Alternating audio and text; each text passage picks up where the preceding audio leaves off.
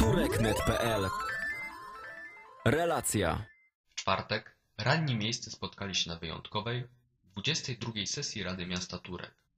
Obrady miały miejsce nie przy ulicy Kaliskiej, lecz w siedzibie tureckiego inkubatora przedsiębiorczości.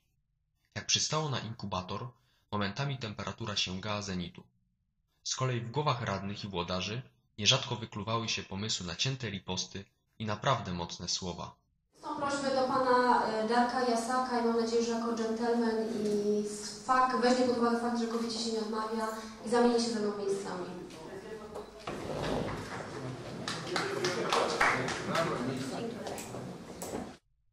W trakcie jednego z punktów obrad radni oraz przybyli goście mieli okazję przejść się po nowym obiekcie i przekonać się, co tak naprawdę ma do zaoferowania turecki inkubator przedsiębiorczości. Ten utworzony został za ponad 10 milionów złotych przy wykorzystaniu około 4,5 miliona złotych środków unijnych. O ofercie, która ma zachęcić przedsiębiorców do pojawienia się w progach TIP, mówili jego pracownicy oraz burmistrz Czerwiński. Oferta tureckiego inkubatora przedsiębiorczości skierowana jest do młodych przedsiębiorców rozpoczynających działalność gospodarczą bądź tych, którzy założyli działalność w przeciągu roku, czyli 12 y, miesięcy. To kwalifikuje firmę do pomocy udzielanej przez inkubator i taką firmę będziemy określać mianem I przysługuje pomoc inkubatora w zakresie wynajmu pomieszczenia po preferencyjnych cenach, czyli tańszych od cen rynkowych mm, pakietu szkoleń, e, warsztatów, e, usług doradczych, e, księgowych, finansowych. Oczywiście tutaj mamy konkretne obwarowania i terminy, ale to wszystko będzie w regulaminie. Co jeszcze powiedzieć z takich praktycznych rzeczy? Firma taka będzie miała dostęp do sali konferencyjnej i szkoleniowej przez kilka godzin w miesiącu nieodpłatnie.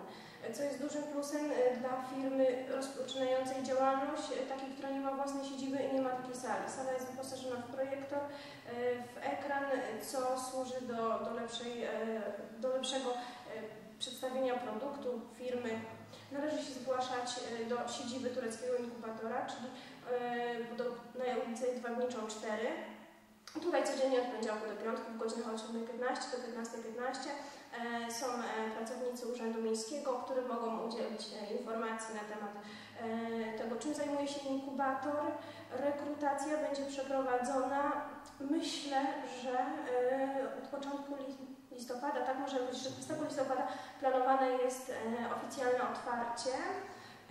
Przed otwarciem, uda się zatwierdzić regulamin, wszystkie druki, jeżeli to będzie gotowe, to będzie sygnał dla nas, żeby rozpocząć rekrutację.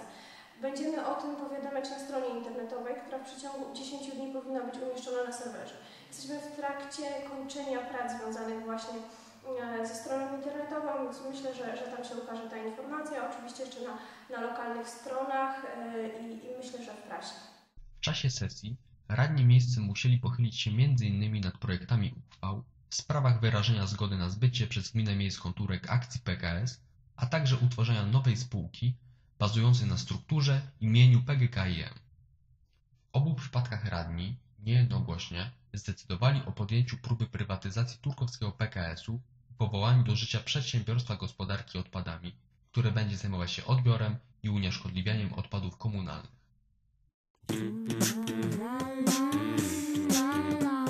Kultura, sport, informacje tylko na tureknet.pl. Tureknet.pl Twoje źródło informacji.